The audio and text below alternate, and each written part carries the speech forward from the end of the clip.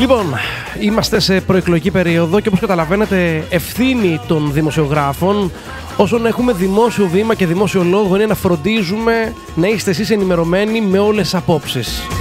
Να έχουμε απέναντι ιδεολογίες, πολιτικές απόψεις και τώρα που πάμε σε εκλογές τους υποψήφιους δημάρχους για να ακούμε τι έχουν να προτείνουν την επόμενη μέρα. Μέσα από ένα νέο εκλογικό νόμο, την απλή αναλογική που μπαίνει ψηλά το θέμα των συνεργασιών.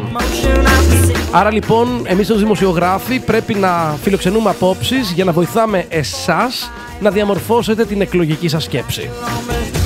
Και φυσικά μιλώντας για τους υποψηφίους, εκτός από την ικανότητα ενός υποψήφιου δημάρχου, εκτός από το πώς μπορεί να διαχειριστεί τα σημαντικά προβλήματα, εκτός από το όραμά του πρέπει να ανοιχνεύσουμε και την ικανότητά του να ενώνει. Να έχει λόγο ενωτικό, να έχει μια πολιτική ευγένεια, να έχει αυτά τα χαρακτηριστικά που θα κάνουν το συμπολίτη να τον δουν ως έναν συνδετικό κρίκο διαφορετικών τάσεων σε μια νέα εποχή της απλής αναλογικής με τα οξυμένα προβλήματα του τόπου να θέλουν ρεαλιστικές προσεγγίσεις.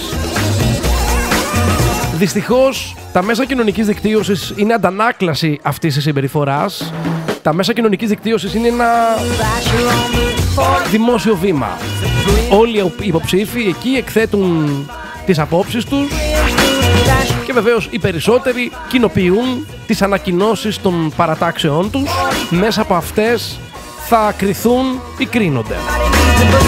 Έχουν βεβαίως κατατεθεί όλες οι υποψηφιότητες και πρέπει να πούμε ότι σπάνια έχουμε δει όλους τους υποψήφιους να μπαίνουν σε δημόσιες αντιπαραθέσεις στο σφαγείο των μέσων κοινωνικής δικτύωσης. Ξέρετε τώρα στο, στα μέσα κοινωνικής δικτύωσης μπορείς εύκολα να βρεις κάποιον, να τον σχολιάσεις, να τον βρίσεις αν θέλεις και αυτό είναι θεμητό. Το ζήτημα όμως είναι ότι έχουμε ανάγκη ως κοινωνία και ως πολίτες να έχουμε ψηλά στην ατζέντα και να επικρατεί αυτός ο πολιτικός πολιτισμός. Είμαι ιδιαίτερα στεναχωρημένος που θα αναγκαστώ να το πω αυτό και το λέω με όλη την αλήθεια που σας κοιτάζω στα μάτια αυτά τα 6 χρόνια που κάνω αυτό το μαγκαζίνο και ξέρετε πάρα πολύ καλά ότι αυτός εδώ ο σταθμός έχει αποδείξει ότι είναι ένα βήμα αντικειμενικό. Γιατί το λέω αυτή τη στιγμή, Γιατί έχουν ακουστεί όλες οι απόψεις και νομίζω ότι αυτή τη στιγμή δεν υπάρχει υποψήφιος που ακούει αυτό το σταθμό που μπορεί να θεωρήσει ότι αυτό το μέσο είναι κατευθυνόμενο. Εξαίρεση δυστυχώς των όλων όσων λέω, τουλάχιστον με την συμπεριφορά του, είναι ο υποψήφιος του διάβλου, ο κύριος Γλιγόρη. Και το λέω αυτό διότι παρατηρώντας τον δημόσιο λόγο του, ο οποίος περιορίζεται στο Δημοτικό Συμβούλιο, ο μόνος τρόπος αντιπολίτευσής του είναι μέσα από τα σχόλια στα προφίλ των πολιτικών του αντιπάλων. Όσοι διαφωνούν με τη δική του γνώμη και άποψη μπαίνουν στο στόχαστρό του, γράφει κριτική χωρίς βεβαίως να αντιπροτείνει τίποτα.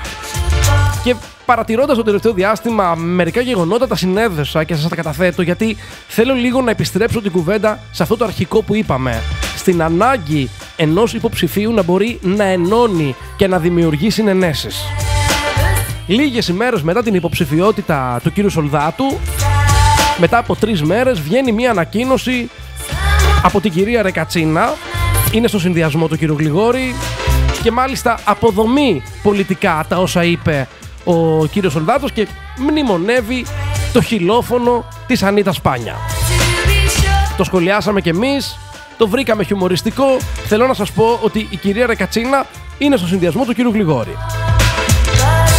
Ο κύριος Γλιγόρη, και έχουμε έρθει σε αντιπαράθεση παρελθοντικά, έχει κατηγορήσει και εμάς ότι είμαστε το γραφείο τύπου του Δημάρχου. Και επίσης, ακόμα θυμάμαι και σε συνέντευξη του κύριου Σολδάτου, ηρωνικά μαζί με υποψήφιους δημοτικούς συμβούλους του συνδυασμού του γράφανε ότι δώσαμε τη λίστα με φαξ στις ερωτήσεις στον κύριο Σολδάτο. Να υπογραμμίσουμε ότι ο κύριος Γλιγόρης δεν αντιδρά στα μέσα τα οποία του προσφέρουν στήριξη ή τα μέσα τα οποία για παράδειγμα δεν χτυπούν αυτούς που ο ίδιος θεωρεί μάλλον χτι... πολιτικούς αντιπάλους. Πάμε λοιπόν στο τελευταίο παράδειγμα, η άποψη ενός δημοσιογράφου του Σπύρου Φρεμεντίτη που τον φιλοξενήσαμε εδώ και είχε ένα πολύ σημαντικό ε, θέμα η συζήτηση αυτή. Πώς μπορεί να υπάρξει συνεργασία στην απλή αναλογική και βεβαίως ένα συμπέρασμα που βγήκε από αυτή την κουβέντα είναι ότι όλοι οι υποψήφοι, αυτοί που θα ζητήσουν την ψήφο μας πρέπει να έχουν τον χρόνο για να υλοποιήσουν τη δράση τους. Αυτή η άποψη, νομίζω αν ψαχτείτε λίγο, επικρατεί και στην Ευρώπη. Μάλιστα, τολμά ο Σπύρος ο Φρεμεντίτης δημόσια να κάνει ένα υποκειμενικό σχόλιο. Ξέρετε κάτι, το υποκειμενικό σχόλιο πολλές φορές μπορεί να έχει τα αντίστροφα αποτελέσματα σε έναν υποψήφιο, ότι ο προσωπικός του φίλος, ο κύριος Σέρβος, δεν είχε μία αρχική γνώση όταν ανέλαβε το τμήμα της ίδρευσης, ότι χρειάστηκε χρόνο για να μάθει πώς λειτουργεί και ότι ο επόμενος που μπορεί να έρθει δεν θα ξέρει σε δύο μέρες να αλλάξει για παράδειγμα τους Ολίνες, έτσι δεν είναι; Αυτό τόλμησε για μένα και το είπε δημόσια.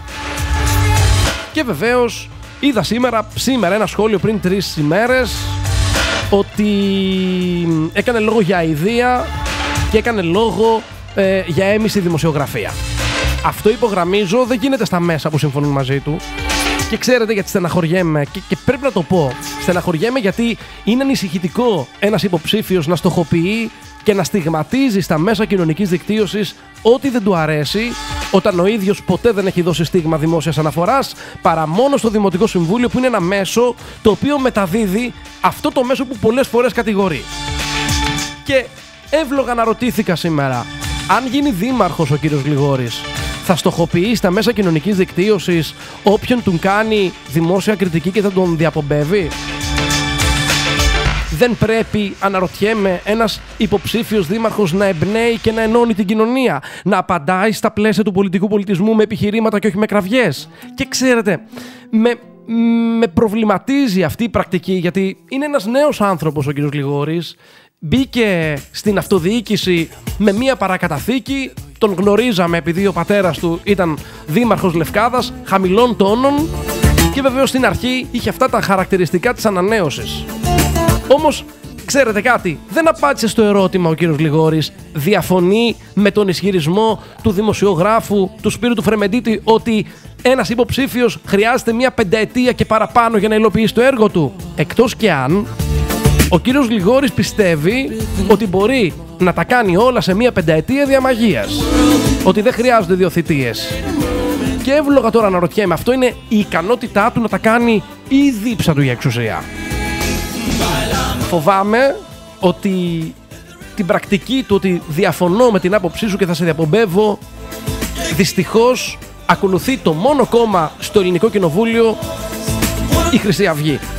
Στην στη δημοκρατία και στην πολιτική μιλάμε με επιχειρήματα, σεβόμαστε την άποψη του άλλου και την αντικρούουμε. Όμως εκφράσεις όπως παλικάρι, έμιση δημοσιογραφία, και για όλα τα άλλα απλά αηδία τα οποία ανέφερε ένας δημοσιογράφος με παρακαταθήκη, με προϋπηρεσία, μέλος της Ένωσης Συντακτών που έχει δουλέψει στις μεγαλύτερες εφημερίδες και στους μεγαλύτερους τηλεοπτικούς σταθμούς να τον βάζει σε μια κρεατομηχανή, σε ένα δημόσιο προφίλ ενός μέσου δεν τιμά τον δημόσιο λόγο και δεν τιμά το επίπεδο του πολιτικού λόγου. Και το λέω πραγματικά με όλη την αλήθεια όπως το πιστεύω. Γιατί αύριο όλοι θα κρυθούμε. Όλοι θα κρυθούμε.